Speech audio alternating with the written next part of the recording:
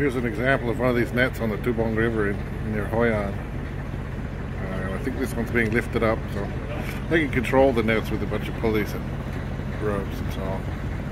And they pull it up every now and then. Usually they fish at night and use a light. You can see there's a light in the middle of the net, but in the daytime they can fish to it, they pull the net up, get the few kilograms of fish out, collect that, put the net back down, and the whole thing just disappears under the water. Another example.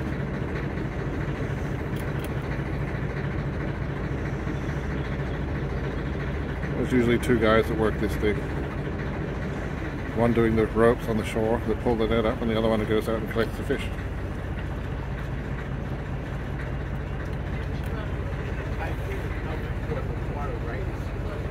Oh, it depends on the flats. So it can be two meters. I mean, oh yeah, this is my job, not this. So you can see now they've lowered the net again. Over, right over, low down, right? over by the hut. There's a, So there are two men, not one. See another man is there. So Yeah. two work together. so, so two men work together. And now, just One, one works the net and one goes out and gets the fish. The bamboo sticks and pull it and then flat on the net. So you can see the net's almost back in the water again.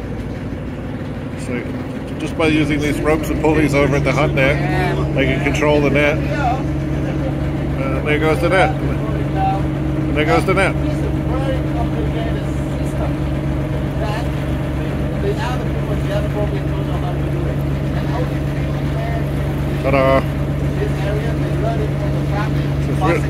father. This is really a unique kind of fishing that you only see here near Hoi An on the Thu Bon River. Nowhere else in Vietnam.